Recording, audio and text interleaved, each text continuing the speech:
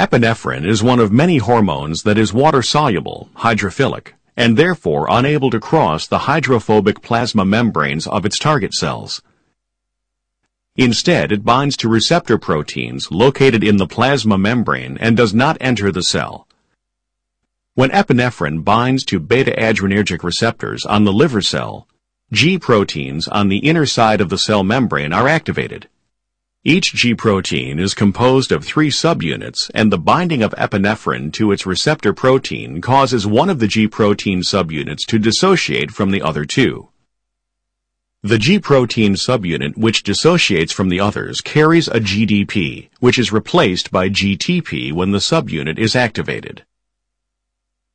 The activated G protein subunit then diffuses within the plasma membrane until it encounters adenylyl cyclase, a membrane enzyme that is inactive until it interacts with the G protein subunit.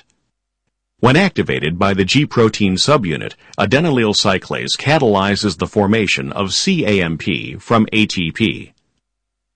The CAMP formed at the inner surface of the membrane diffuses within the cytoplasm, where it binds to and activates protein kinase A, an enzyme that adds phosphate groups to specific cellular proteins.